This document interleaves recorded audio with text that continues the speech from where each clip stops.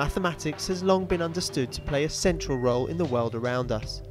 However, it's not the theory but its application that makes it relevant in our day to day lives. Based in Ontario, Wilfrid Laurier University's Department of Mathematics has developed a series of programs that focus on making this exciting real world connection. The Department of Mathematics at Laurier concentrates on what we call applicable mathematics.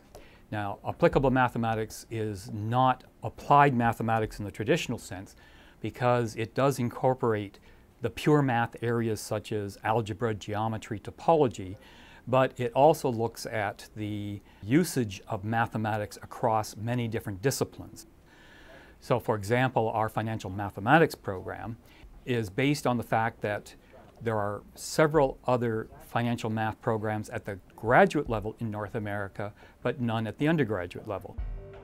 The courses we teach, like the concepts courses, the mathematics, such things as stochastic calculus, these things typically were reserved for master's level.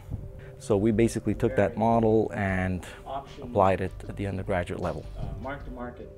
They get a lot of opportunity to actually apply what they learn. These abstract mathematical concepts are not just abstract mathematical concepts. There's financial instruments that they price. There's very specific examples of applications in risk management that they actually program some of these ideas in the lab.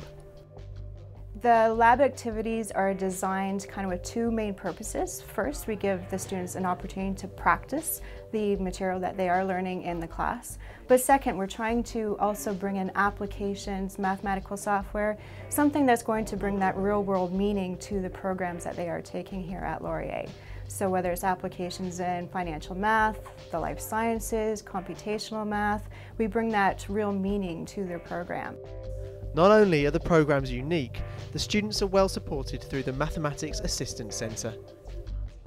It's very important for us to support uh, students coming into Wilfrid Laurier.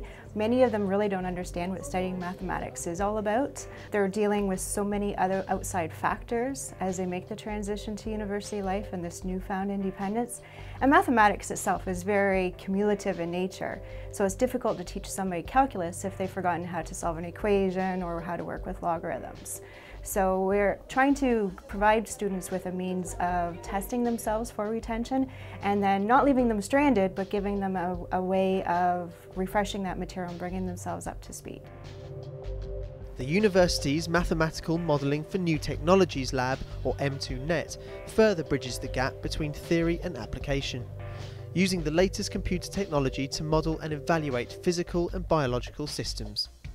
One problem with many analyses of complicated, complex systems is that you can put them into a computer and you can get numbers out, but all you get are pages of numbers. What this lab tries to do is develop a visualization of the actual events as they are evolving. So you get a better sense of what happens when you change parameters, what the impact is, perhaps even a better understanding of the model and whether it's adequate or not adequate. It's also connected with several other research groups, so it's not all in isolation. And in fact, one of the big things about this lab is that it tries to break down the barriers between different disciplines because if you do that, you can see how a solution to a problem in one area can help you solve problems in another area. As well as modelling the technologies of tomorrow, Wilfrid Laurier applies mathematics to less likely subjects like diplomacy. Decision making is, for me, really the main activity of humans, and that's that's what um, uh, that that's what can be captured mathematically, and that's what can be understood mathematically, and to some degree, you can even engineer it. That is, you can set up situations where the outcome is likely to be what you want. Uh, we have a very dynamic department. It is a very entrepreneurial department. We have created programs and courses that you'll not find at other institutions because our emphasis is on applicable mathematics. We have a strong department that is doing work that we believe is of importance to society and, and also just from a straight point of view of mathematics is an interesting subject in its own right.